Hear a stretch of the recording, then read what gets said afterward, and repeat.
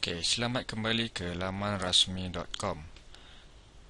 Hari ini saya akan tunjukkan bagaimana uh, anda untuk proses pengaktifan uh, akaun web hosting percuma. Setelah anda mendaftar di laman web laman rasmi.com tadi, anda uh, kami akan menghantar email pengaktifan ke akaun yang telah anda daftarkan.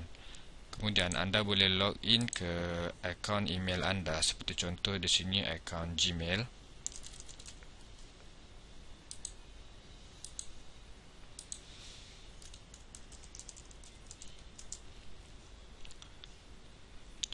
Dan anda akan terima email daripada bertajuk laman rasmi.com activation. Klik pada email tersebut.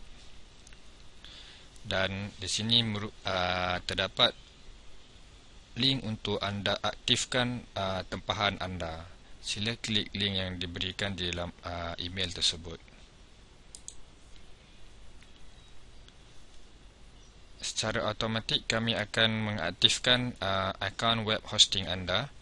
Sila tunggu uh, dalam beberapa minit untuk kami menyelesaikan segala konfigurasi yang diperlukan.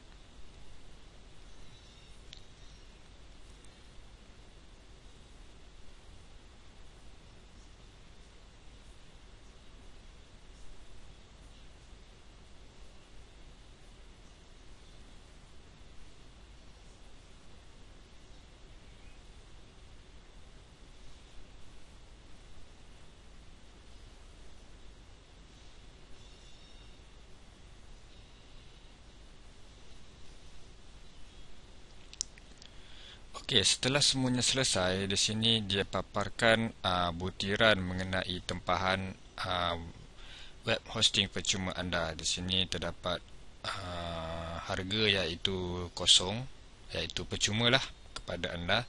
Dan di sini uh, merupakan details uh, login ID serta password. Password ini sama seperti yang anda key in sebelum ini semasa pendaftaran serta URL untuk uh, ke cPanel uh, hosting anda. Serta butiran lain seperti SQL username, uh, FTP username semuanya menggunakan username yang sama serta password yang sama seperti yang telah anda isikan semasa pendaftaran.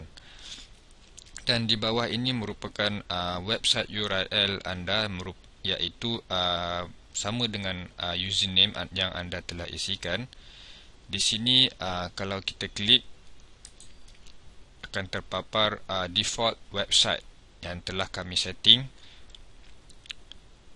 Jika anda klik kepada URL yang telah uh, anda isikan dan terpapar website ini maksudnya website uh, account hosting anda telah aktif. Tahniah account hosting anda telah aktif. Selamat datang ke web page sementara anda Ha, oleh itu uh, anda boleh seterusnya login ke cPanel dan uh, mula menginstall software yang anda perlukan ataupun uh, manage hosting anda menggunakan uh, cPanel yang telah kami sediakan. Okey, terima kasih. Sila login ke cPanel anda untuk proses seterusnya.